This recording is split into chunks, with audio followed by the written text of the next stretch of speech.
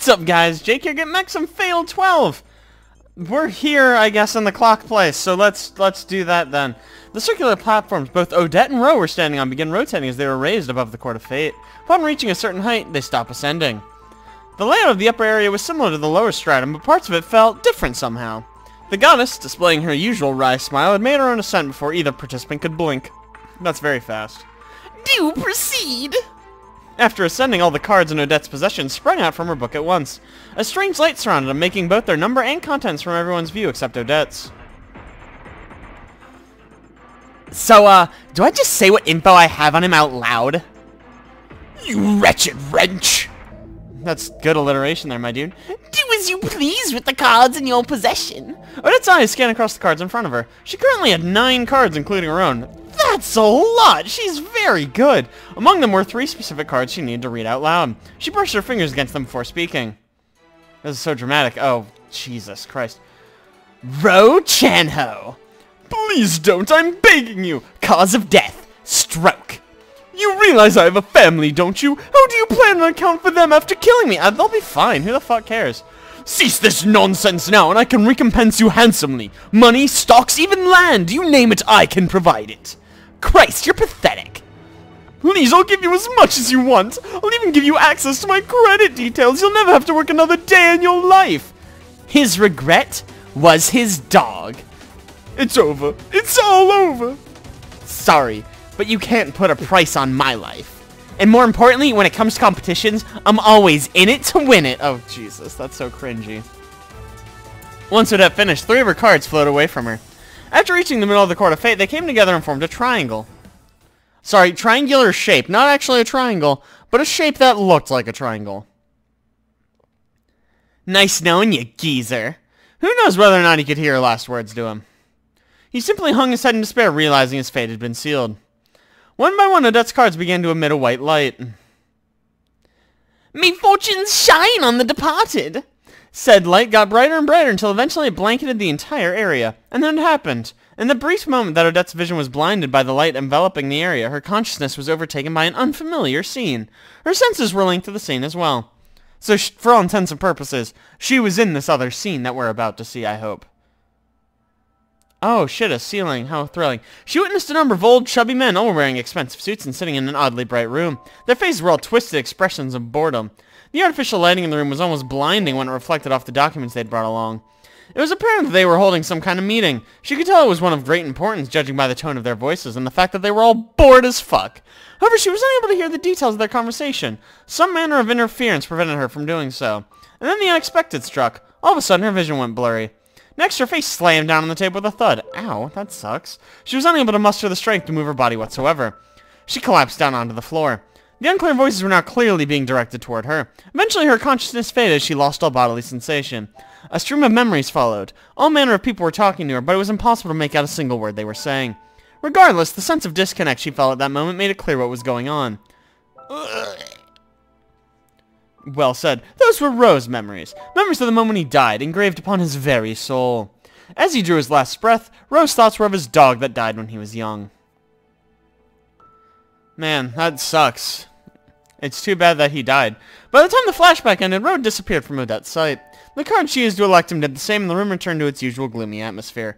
One thing she noticed was that the beam of light that had shone from above had grown thicker, although she wasn't sure whether or not it was just her imagination. So the electors are forced to experience the death of the elected, huh? You sure mess up in the head, aren't you? Heh. Parka opted to respond with nothing beyond her wry smile and heh. In her hand were three cards. I didn't realize those were the cards that were in Roe's possession. Oh. Numero V's name, Numero 11's name, or Numero 11's cause of death. Which would you like? The platform on which Odette stood began to move after Parka asked her question. Do take your time to think about it while we descend. Ain't much of a choice, is it? Well, she had imagined this outcome. The fact that she was so on the memor... So on the money left her visibly annoyed. Following that, both her and Parka returned to the lower level of the Court of Fate. Are we gonna... Okay, it's a fucking cliffhanger. What card she get? Well, well... I try to imagine everything she's just explained to me. Basically, you're forced to experience the same death as those you eliminate. Man, that's freaky. That Parka girl sure is cruel despite appearances. She's running a death game, like, fucking obviously, right? You think? I found the whole thing pretty exciting. In response, I make sure to sigh loudly enough for her to hear it. She keeps babbling on without a care in the world, though. More importantly, we're heading to Japan next. Uh, might as well, considering we'll need to get there at some point. It's an especially good time to go now, what with that new card you got belonging to a Japanese guy and all. A super old guy at that. Yeah, let's head after we finish this grub. It finally feels like the second round's over now that we've decided our next move. Washing down the last flaky bits of my croissant with some milk, I stand up and get ready to leave. Fucking thrilling. You know she's gonna kill you, leprechaun guy, right? I hope you have a plan that doesn't suck. What is this? Oh, oh, I'm back, I'm back, I'm Rinka again. Yay, Team Rinka, go Rinka. Huff huff. The morning brings memories of another nightmare with it. The second round Divine Selection has taken place. By this point, I've already accepted that I'm a participant. The fact that I'm alive right now makes it hard to comprehend the reality of my own death, but it's no longer about whether or not I believe it. Rather, the events that have taken place so far are starting to get to me, because they feel so detached from my own personal life. Divine Selection's grinding along, and two people have been eliminated without any influence from me whatsoever. I keep telling myself they had died over two weeks ago, but I can't forget the faces I saw in the Court of Fate. That alone is enough to make my heart ache. I... I don't want to die. Wow, novel. Not having access to my own cards is frustrating too. There's one major reason behind my reluctance regarding all this, and it's the fact I don't know what my own regret is. I still haven't sorted things out with Miharu, but it's entirely possible we could both be eliminated while preoccupied with that. As as afraid as I am of both the win from last night and the guy from the first round, not to mention everyone else, I'm not about to go down without a fight. My first and foremost priority. I have three cards at the moment. If I'm going to do any digging, I need to start with these three. I look up Federico Carminati after I finish collecting my thoughts. Oh, it's the Leprechaun! We got Leprechaun Boy! Let's fucking kill him. He sucks. As expected, no useful information. All I learned is that it's a common name in Italy. Well, we tried. The other two cards provide me with a cause of death for number, number 4 and regret for number 9. All I know about them is they seem to be foreigners.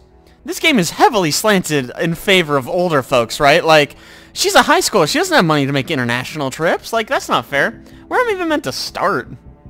After a big sigh, I set about my morning routine. There's always the possibility the other participants don't know anything about me. No, there's not. Someone has your cards, right? Doesn't mean I can waste my time, though. My own card was among those distributed at the beginning, which means it's only a matter of time until someone puts two and two together. One thing that's me curious is number four is cause of death. God, Roman numerals are hard. Much like me, their card says they died in a fire. From what I recall, number 4 is a boy from abroad. Of course, there's no guarantee he got caught up in the very same situation as me, much like how there's no guarantee I simply died from the fire itself. In fact, I still don't recall how one broke out on the train in the first place. It was a bomb! There are plenty of possibilities from a simple accident to an intentional terrorist attack. It was that one! But there's no way for me to find out when the act has been undone. In other words, all I've got going for me is my memory. Ah, fuck this. No point in forcing myself to try to remember, especially when there's a near zero chance of a hint magically appearing to help me. I make my way downstairs, have some bread, and head to school. Yeah, it seems like we can put this whole thing on pause to go to school, right? This clock doesn't have hands. What the fuck time is it? Whew, lunchtime at last! Did you bring your own? Mao and Miharu stroll over to my desk when the bell chimes for lunch. I plan on going to the cafeteria on my own, but Mao catches me just in time. We probably would have eaten separately if she hadn't, considering my mind is a little preoccupied with the whole murder thing. So much for trying to go about life as usual. Yeah, I was about to go over to the cafeteria or whatever. Actually, I overslept a bit this morning, so I didn't have time to make my own lunch. You overslept, huh? Pretty suspicious. Did you murder anyone? Obviously, I won't ask if that was thanks to it being to being in the dream world. Sure is rare for you to oversleep. Either way, full speed ahead to the cafeteria. This is the roof. You can't fucking trick me. The university on campus has its own cafeteria, which is apparently on the fucking roof. Middle schoolers aren't allowed to use it, but once you hit high school, it's fair game. Since it's a little awkward hanging around all the university students, most of us tend to buy our food and go eat it somewhere else. Oh, that's why we're on the roof. That goes double for us, considering how much we stand out. Yeah, three cute high school girls. Man, must be rough. Fuck you. That being the case, we make our way to the rooftop after getting our food. Oh, we've got it all to ourselves today. Oh, they weren't just lazy and drew no one else. The rooftop is, is usually crowded with students on days like this, but fortunately that doesn't seem to be the case today. What did you two get? A ham sandwich. It's simple, but it does the job. Not to mention it's nice and cheap. Don't you work for a living? What? Uh, you sure that's gonna be enough? I could ask you the same. Yakisoba bread and pan isn't much more filling than what I have. Hey now, I got some coffee milk as well, so in terms of calories, I'm miles ahead of you. She jams the straw into the carton with a triumphant grin. It's a 16-ounce carton, too. I'd probably struggle to finish it before lunchtime ends. Uh, why is calorie counting a competition now? Uh, to see who gains weight the fastest. Please find something better to compete in. It wouldn't hurt you to put on a little more weight. You know, I'd appreciate you not saying such things while ogling my chest, actually. Yowza. Much as I'm aware of my depressing reality, I'd rather not have her remind me of it. Especially with Maharu standing right fucking there. What did you get, Rinka? A tonkatsu sandwich. Well, guess we got our winner. You're on the prowl for calories too, huh? Well, I'm certainly not competing over it, you fucking weirdo. Mao asks for a bite as I unwrap the packaging. Trust her to do so before I can get a bite in myself. I float the sandwich close to her mouth, which prompts her to chomp down on it. Aw, I didn't get any of the tonkatsu from that bite. Sounds like a really shitty sandwich. You really take small bites, don't you? Wait, what's wrong with Haru? She's staring at Mao with a blank expression. Well, um, maybe she wants a bite too. Want to trade it for your ham sandwich? I'll give you the part Mao didn't take a bite of. No, it's fine. I don't particularly like fried food in the first place. Fuck off. Everyone likes fried food. Please accept my humble apologies. This conversation is going nowhere fast. Mao presents her yakisoba bread as an offering to Miharu after apologizing. Unsurprisingly, Miharu turns her down, which elicits a laugh from her. Honestly, what a silly conversation. At the same time, it serves to remind me that moments like this are a regular part of my daily life. Thank you for explaining why the scene was here. I was at a loss. Rinka? What's up? Your name's not Rinka.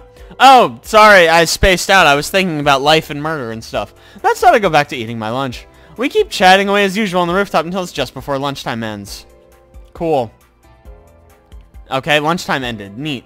After the final period of the day, here's someone call out to me as I'm tidying my desk. Rinka?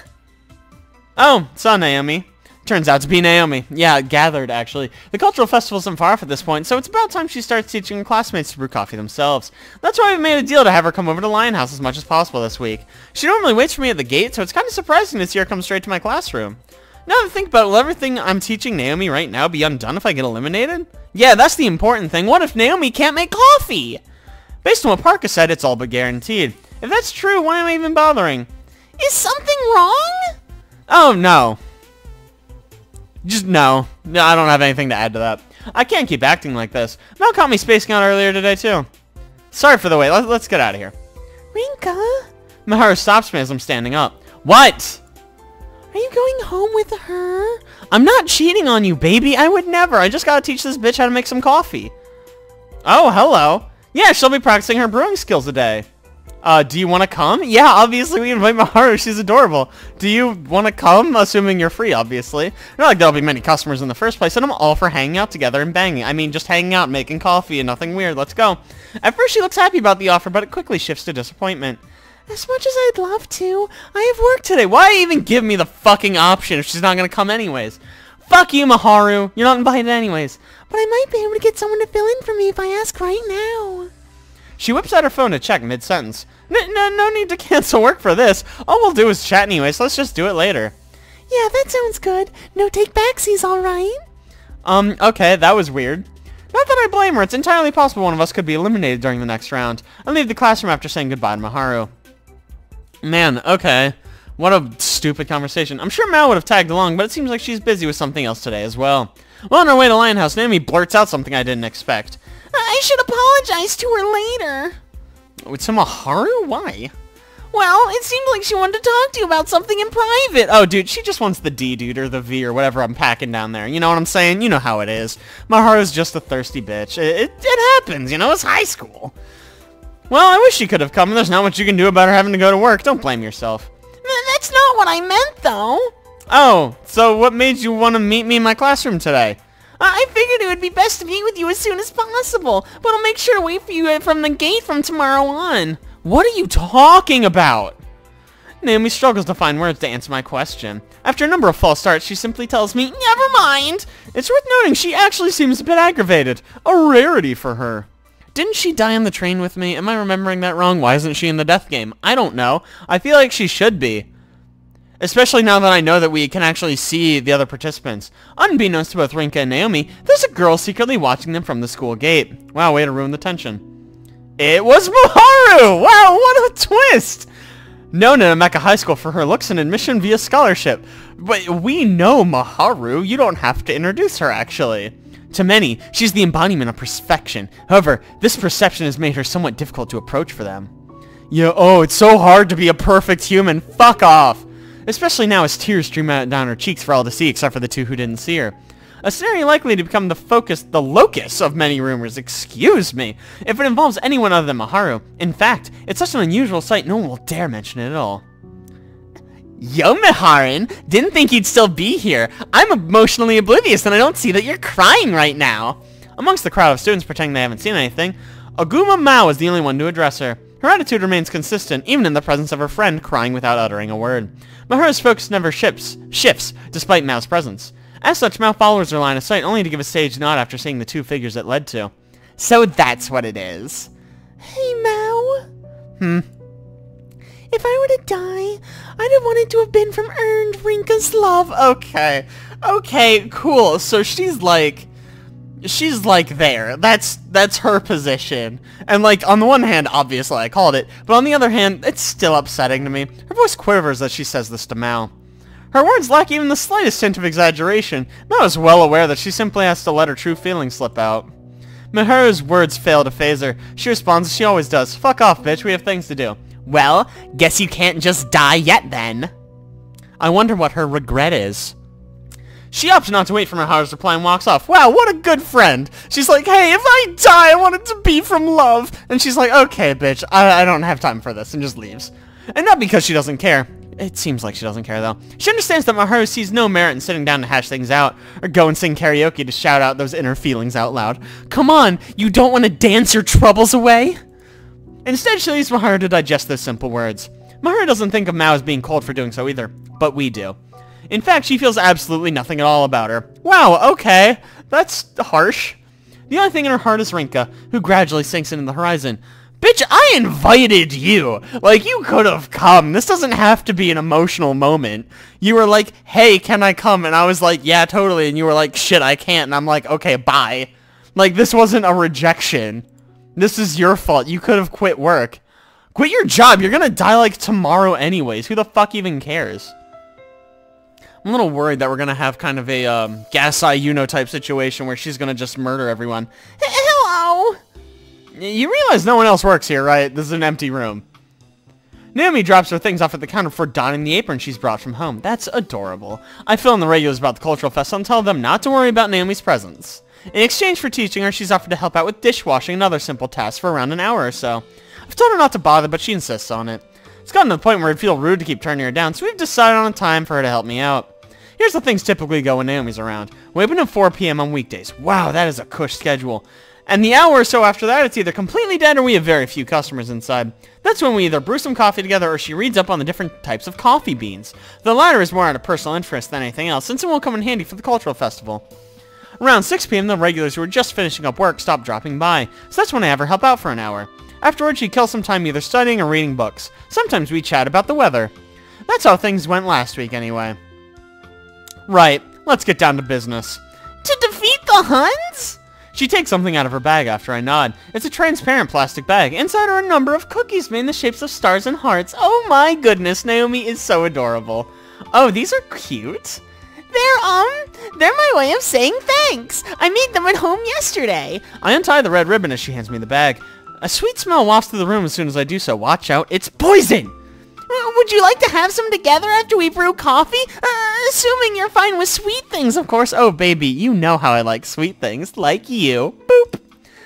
I'd love to, thanks. I tie the bag back up to prevent the cookies from getting splashed with water while we're brewing. If only you could have moved them somewhere away from the sink, but hey.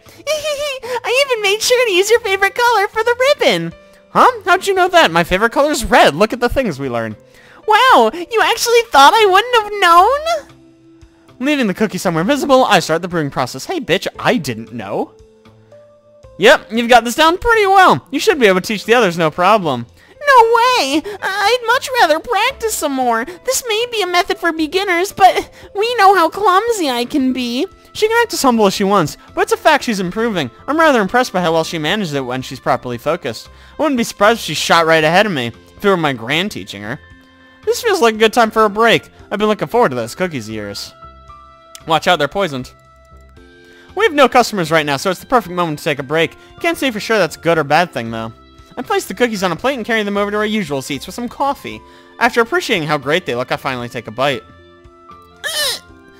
Someone hits Naomi's panic button as she awaits my reaction. What the fuck? These... These are good. I'm not good at making dramatic reactions, so this is the best I can do. Naomi's eyes shimmer with an excitement that matches her beaming smile.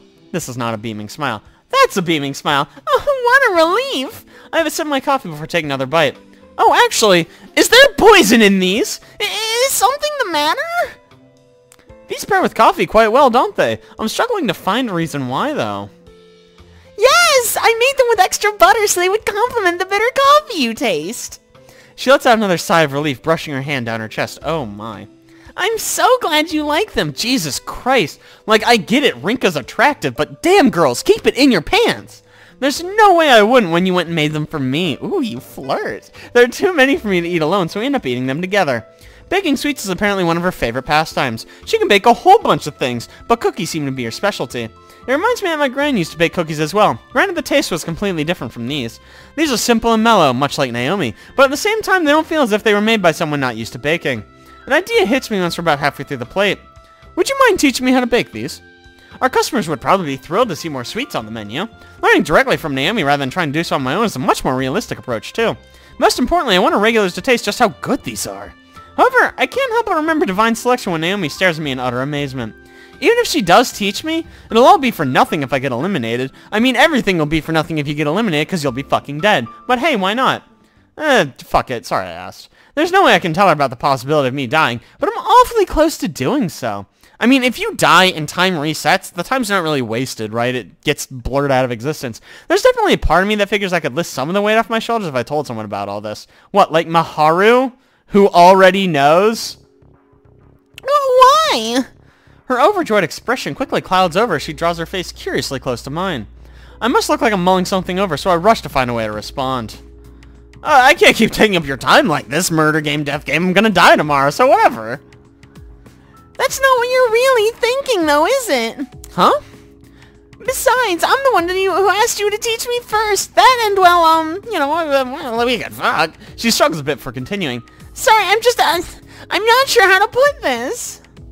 Don't worry about it. Just put it away, you know? I want us to keep spending time together. Her eyes immediately shoot to the floor, almost as if she's let the words fall out by accident. S sorry, something about me has been strange lately. You might just be tired after I made you do stuff you're not used to. Do you want to head home for today? Or hey, maybe have a cup of coffee. That, that's not it. She takes a small breath, raises her head back up, and looks me dead in the eyes. Her expression's almost oppressive. Uh, forgive me but for asking this out of the blue, but uh, could you hear me out for a moment? And before we hear her out, I'm going to draw this episode to a close. So thank you guys so much for watching. I really appreciate it. If you liked that, don't forget to like, subscribe. Be sure to tune next week for more Fatal 12 with yours truly. I'll see you guys then.